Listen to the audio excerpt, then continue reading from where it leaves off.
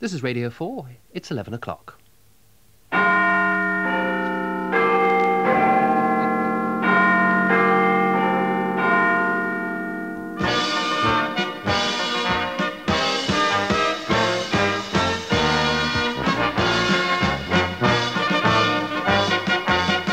Out of Order, a quiz about politics. In the chair, Patrick Hannan.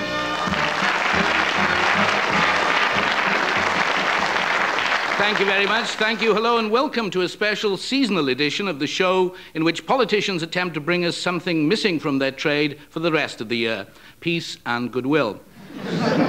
Although even those may be sadly lacking if they followed the advice of American political commentator P.J. O'Rourke. Don't send funny greeting cards on birthdays or at Christmas. Save them for funerals when their cheery effect is needed. As welcome as Dan Quayle at the Mensa office party, I should imagine.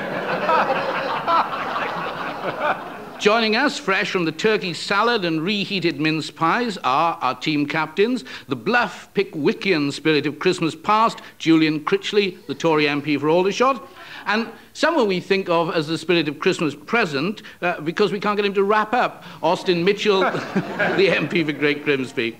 Pulling the other end of their crackers are, with Austin, 50% of our mandatory first footing Scotsman, Sir David Steel, and with Julian, the all important red headed 50%, Robin Cook.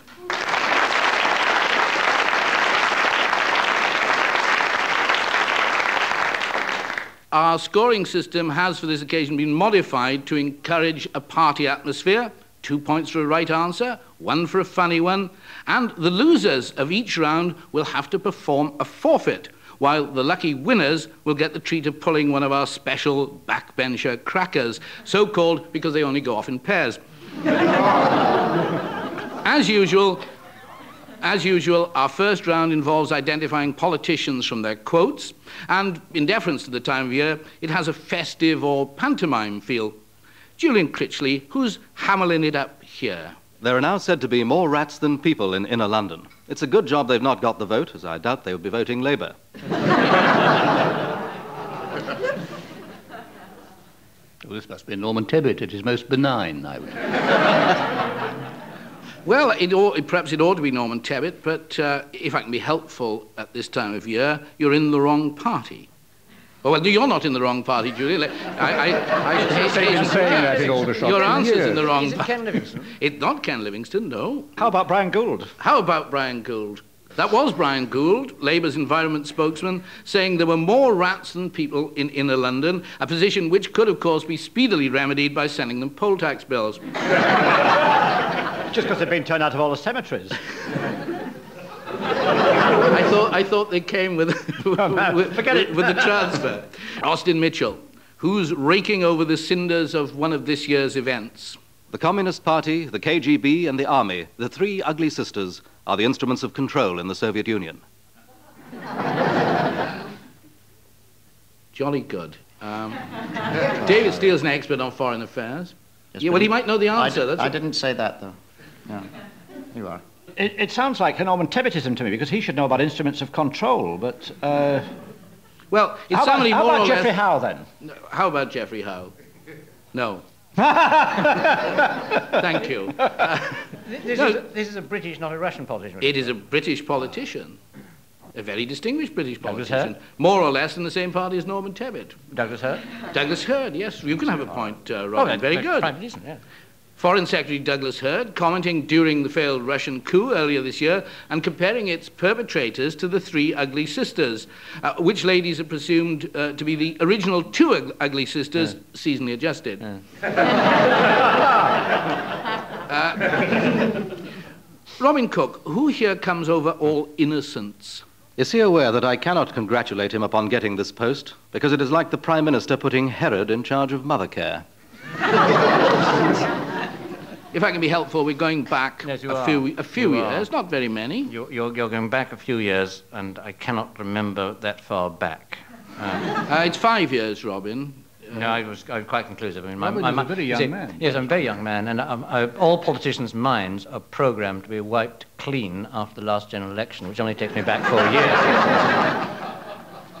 uh, Alan Oh, Clark. well, Alan, said about Alan Yes, Clark. A Alan point Clark. for you, David. Very good. Who Thank you said very it? much. Clear, clear shot. Not Clare Short, though, somebody uh, with firm views like Clare Short, but uh, Dennis Skinner. Dennis Skinner. That was Dennis Skinner addressing Alan Clark on his 1986 promotion to be Minister, of, uh, Minister for Trade and Industry, comparing it with putting King Herod in charge of Mothercare. Mr. Skinner later denied that the Mothercare reference was a cheap jibe at a previous DTI incumbent, Cecil Parkinson. When I went back to the House of Commons after my operation and sat in the Commons wheelchair, which I ought to tell my colleagues is available in case this ever happens. and I was trying to push myself along. Who should come out of his office and shove me along the corridor but the beast of Bolsover? And it was noticed by two of my colleagues in the Conservative Party who have not spoken to me since. And what happened when you fell to the bottom of the steps? And, and of course, by three members of the Labour Party, including Dennis Skinner since. Is it true, Julian, that uh, there is a queue for the Commons wheelchair late at night? We're on the verge of a breach of privilege here. Da- David Steel, who here warned a colleague to be careful with the sack? He just cannot be allowed to go on rushing round like a demented Santa Claus, scattering imaginary tenners from his sleigh. Robin Cook might well know What the, a the, the, the source and object of this. No, no, no health minister has ever scattered tenners like this. No, this was no health minister. Sorry, Yes, thank you, thank you. no, it wasn't anyone who was one, but it was someone who thought he might be one. This is getting a very difficult program. We aren't on Radio 3, you know. I- I- it- it's, terribly embar- it's terribly embarrassing for members of the Labour Party when you're invited to do, uh, uh, remember something that might actually go back to the last Labour government. No, it's, no, no, no, no, no. It's uh, it's not the last. war, It's not the last Labour government. It's um, when was that? Uh, you don't. Before the last general election. You think you, think you have problems?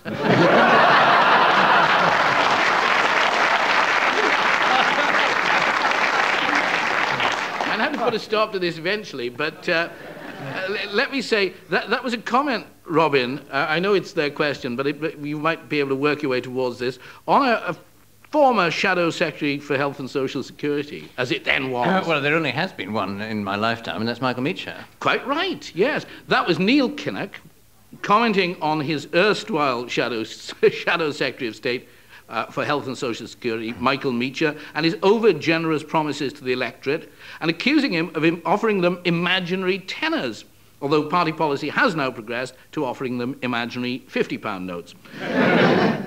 It's believed that Neil's real objection to Santa Claus is that his red coat and habit of infiltrating homes after dark via the chimney shows a connection with the militant festive tendency. so at the end of that round, I regret to report that uh, Austin Mitchell and David Steel have got four points. Julian Critchley and Robin Cook have got no points. I, th- I, I thought they had one. I want a recount. No, I, I, I, I have been at sufficient counts to demand a recount. I did get Douglas Hurd. I was getting a point for Douglas Hurd. Yes, you were heard. You but were. not- I think. I think funny. we'll. I think we'll add Oh, I that. see. I think we'll add that. I think the problem is, Robin, that you do well in the polls, but when it comes to the actual election, I, I want this programme from now on conducted on strict basis of electoral reform. David Steel will explain it later on Radio Three. So the scores are. rev- seasonally adjusted. Austin Mitchell and David Steel, four. Julian Critchley and Robin Cook, one. That means that we open the winner's crackers, we find a lovely crepe paper wig and tights, and this riddle, Austin and David. Why did David Owen cross the road? Because he was chicken. Not bad. Not, not bad. The answer is because he always wants to be on the other side. the losers, meanwhile, I hope you're all following this, have to pay a forfeit. Julian, uh, first of all, your forfeit is to explain why a 200 seat loss in the general election is a good result for your party. Well, then, because I should become leader of the opposition. Under such circumstances, I would have immense patronage. And all those relatives with whom I do not exchange Christmas cards will become knights of the Shire. and I shall be famous at last. Uh, oh, just over a year ago, you'd have said because the 200 seats would include Finchley. Whatever happened to Mrs. Thatcher, by the way? Is she at Dickens and Jones on the accessories counter? Or is it...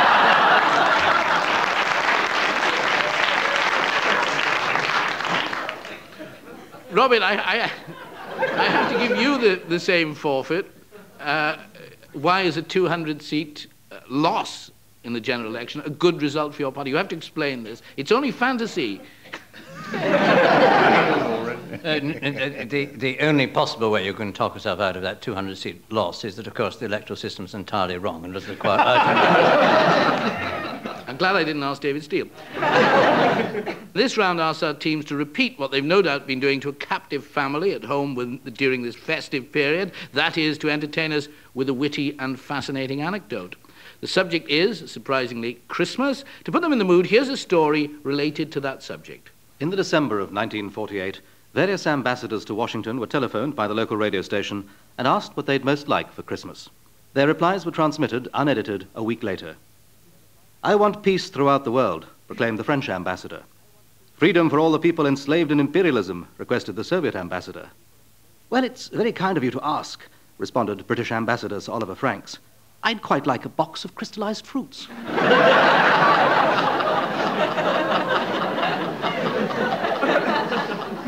Julian, what does that remind you of? Well, how clever our diplomats are. I can't think about a, a funny reply about Christmas. There's nothing funny about Christmas at all. It goes on and on and on and on. And so I'm, I, I'm with Scrooge on Christmas, but I, I haven't got an anecdote about it. There, I'm trying to uh, forget it. Well, I'll give you two points anyway, because it's uh, Christmas. what about you, Robin? Well, the best screen I got this Christmas came courtesy of the post office. Uh, the head of the post office in my constituency very sweetly sent me a pen saying post office on it, along with a Christmas card personally signed by her, uh, offering me this pen as a memorial to how excellently the post office served me through the year.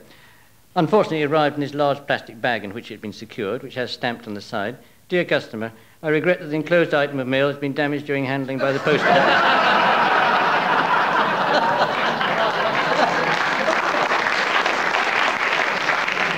Please accept my sincere apologies for the damage and any inconvenience you may have caused. Yours faithfully, Manager, Customer Services Branch, brackets, RLO, stroke, broken packets, closed brackets. Which I, I thought rather took away the charm of the personalised touch. Austin, what about you? Well, mine isn't a, a, a true story so much as a, a nightmare, because I'm dreaming of a, of a Euro Christmas, which will almost certainly be served in a, a manger near Maastricht, the one that Jacques Delors was born in, uh, with the, the, the cards translated simultaneously into nine languages, the entertainment provided by the Germans, the cooking done by the British. It'll almost certainly be pizzas, because that's the only dish people can agree on by majority vote. It'll be paid for by the Greeks, it'll be served reluctantly by the French, with wine grown by the Irish, and mainly eaten by the Belgians. And I shall sit there in the corner and drink Advocaat, which is a concoction from squeezing Dutch lawyers, uh, and get quietly sloshed. A sad story. T- two points to you. David Steel. Well, I know I'm in the same team as Austin Mitchell, but I happen to know that's a complete lie because he's going to New Zealand. The last free country out of the EC. Oh, I shall now That's right. a point He's from carrying Austin his principles dishonesty. through to Christmas. Many moons ago, when we had two small children, we were traveling to Kenya for Christmas, and we were due to arrive there on Christmas Eve and attend a service there and have Christmas and all the rest of it in Kenya. Unfortunately, the Heathrow was fog bound, and we spent uh, most of Christmas Eve on the floor at Heathrow Airport. And then we got into the plane, and Christmas occurred on the flight. My wife was very meticulous about these things, insisted that the children's stockings had to be hung up wherever they were, and they were on an aeroplane. Try explaining to children how Santa Claus came down the chimney into the air. they got them. The winners of that round pulled from their crackers a very fetching junior black rod costume, a bag of chocolate IQ, and this riddle. You were the winners of that round, Julian and Austin. Uh, uh, Julian and Robin. Why did Neil Kinnock have to drink 15 decanters of port?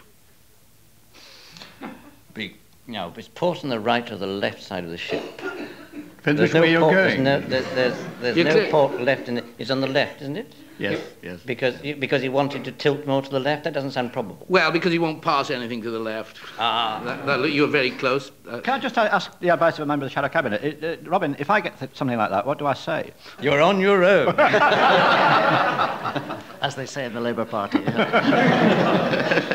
well, you, you, uh, David Steel and Austin Mitchell now have to pay the, the, the forfeit, well, the, the traditional forfeit. Austin, first of all, the forfeit is to imagine Roy Hattersley sitting on Mr. Speaker's knee, and you have to tell us what he would ask to find in his stocking. Well, I don't know, but I should want a wetsuit.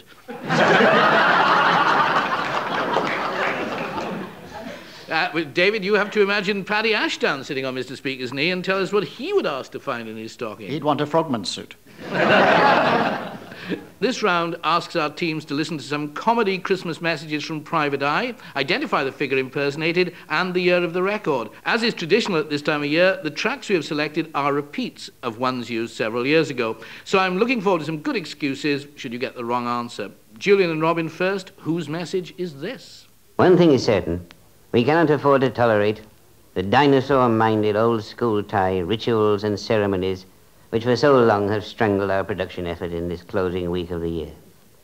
I am therefore glad to be able to say that my good friend, the Duke of Edinburgh, who is himself a good friend of Her Majesty the Queen, consented to preside over a tribunal of inquiry under the 1921 Act to take a long, tough, urgent, and searching look at this outdated and effete institution of Christmas.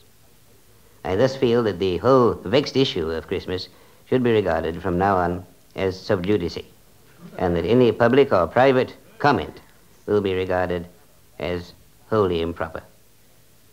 Well, most difficult question of the evening. What's it all about? It's John Wells making fun of Harold Wilson. I don't think it's John Wells.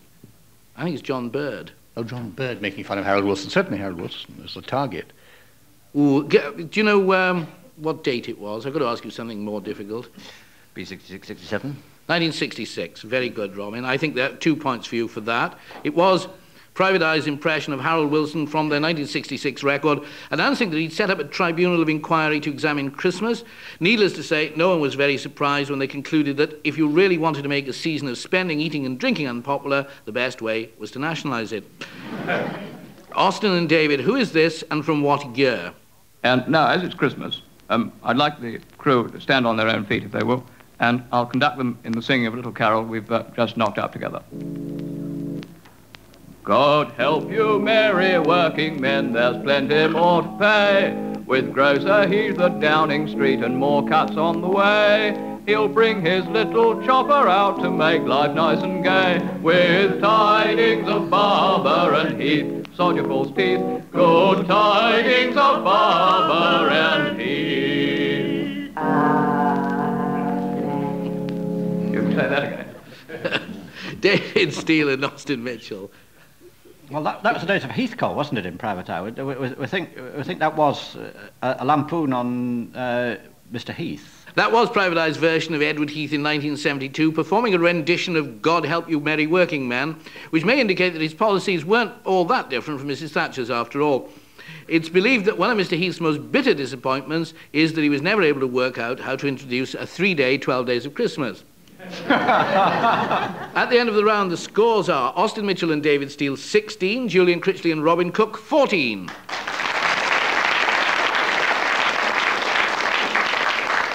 Last cracker in the box produces a Kenneth Baker dangerous dog whistle. When you blow it, nothing happens.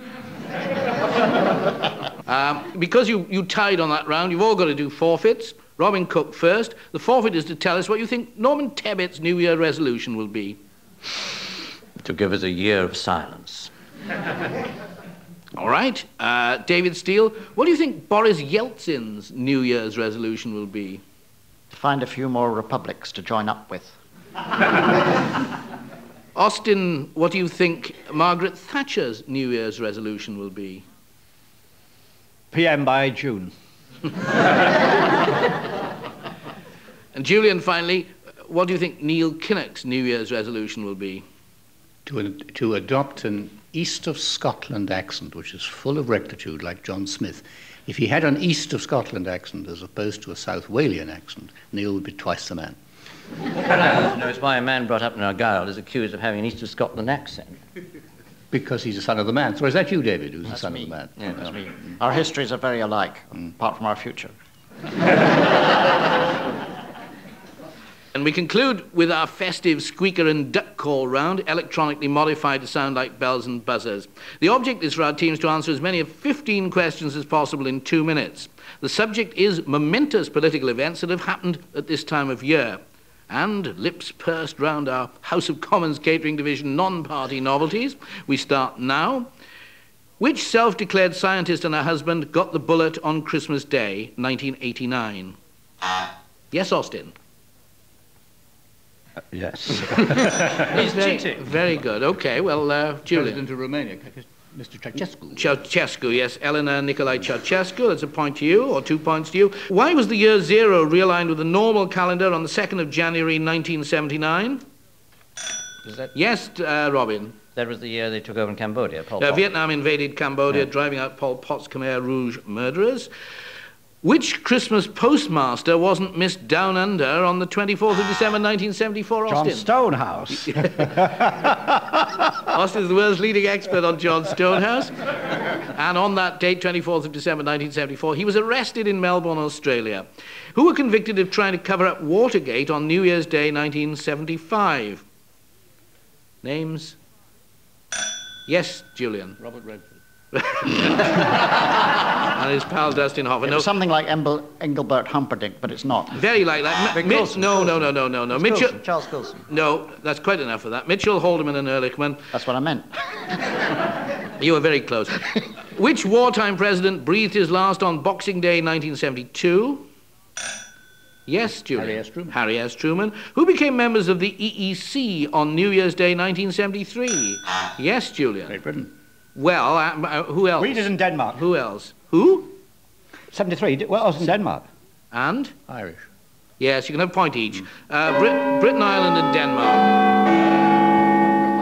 So that round brings the final scores to Austin Mitchell and uh, David Steel 23, but Julian Critchley and Robin Cook 25.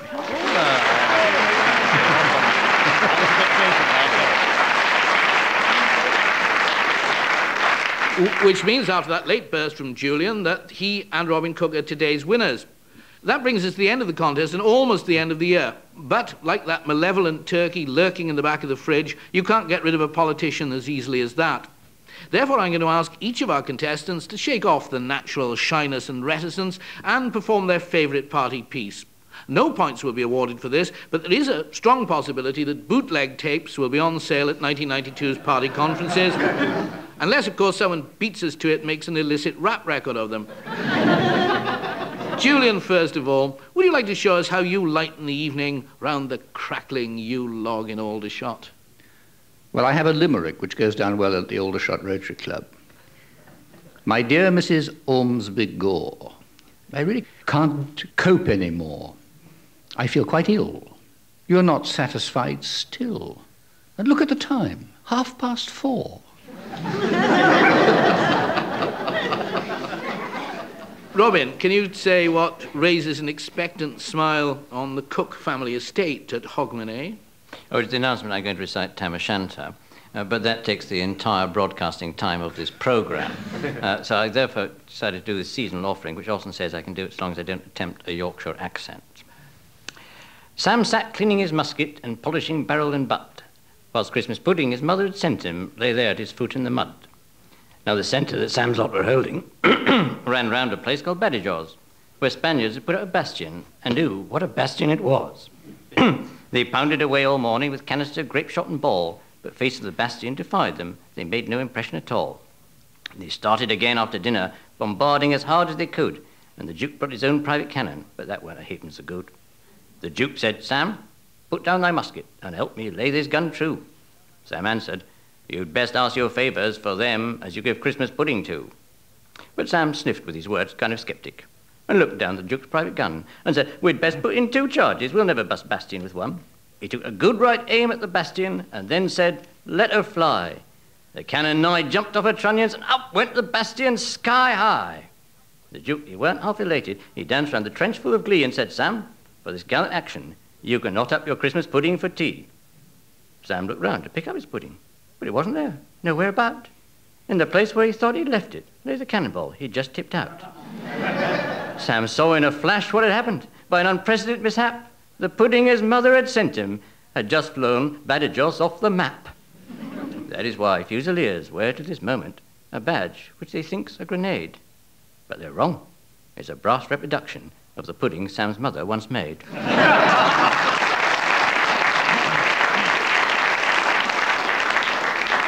Now I see how you fill the period between Christmas and the New Year. David no Steel, how, how do you enliven fes- festivities up at Libel Towers? Well, of course, reading from the improving works of the great Scottish bard William McGonagall. And uh, this is a very appropriate one because it was a tribute to his Member of Parliament, the late Sir John Ogilvy. Alas, Sir John O- Ogilvy is dead, aged 87, but I hope his soul is now in heaven, for he was a generous hearted gentleman, I am sure, and in particular very kind unto the poor. He was a Christian gentleman in every degree, and for many years was an MP for Bonnie Dundee. And while he was an MP, he didn't neglect to advocate the rights of Dundee in every respect. He was a public benefactor in many ways, especially in erecting an asylum for imbecile children to spend their days. then he handed the institution over as free, as a free gift and a boon to the people of Dundee.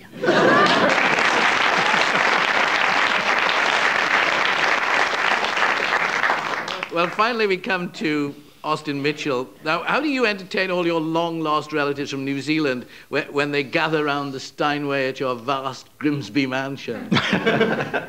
Well, I thought this year I might sing the karaoke version from uh, Robert Maxwell's greatest hits of cruising, but uh,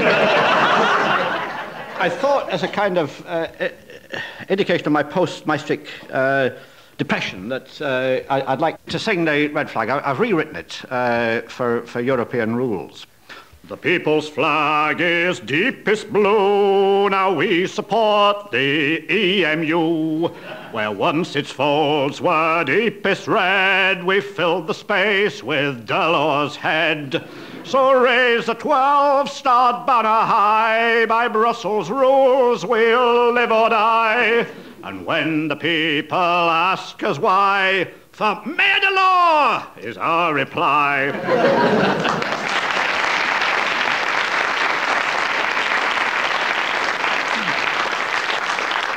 and on that note, or even one in tune. I- I've just got time to thank Julian Critchley, Austin Mitchell, Robin Cook, and Sir David Steel. Wish you all a peaceful and prosperous new year, and leave you with this apocalyptic quote from Tory MP Sir Nicholas Fairbairn. New Year's Day in Scotland is rather what I fancy New York would be like after a nuclear attack. Which seems to indicate that his fellow Caledonians would rather run an under four minute mile than look at his colourful dress. Happy New Year and goodbye.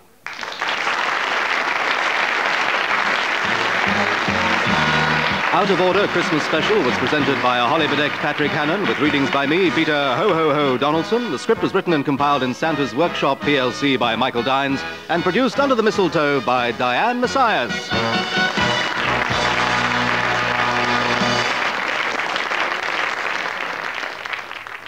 And Out of Order returns in the new year. Tomorrow at 11 o'clock, there's comedy from the archives in the first of five episodes of Hancock's Half Hour. And earlier in the evening, Barry Took hosts part two of the News Quiz of the Year as Richard Ingrams and Ian Hislop take on the rest of the world in the shape of Alan Coren and Rory Bremner.